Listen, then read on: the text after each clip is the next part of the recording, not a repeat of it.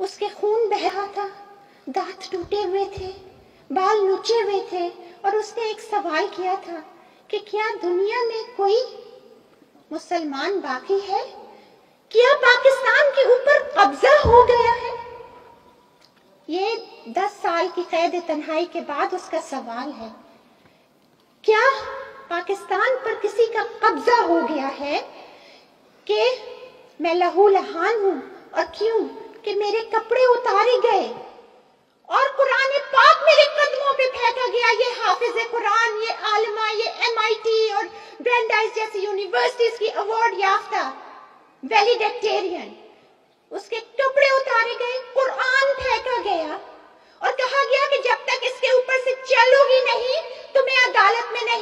जाया जाएगा। तुम्हें इसी तरह लेके जाया जाएगा। कपड़े नहीं दिए जाएँगे। और जब चलने से इनकार किया तो मार मार के लहू लहान और बेहोश कर दिया। उसने एक सवाल किया कि मेरी नहीं कलाम पाक की बेहुरमती तो रुकवा दीजिए।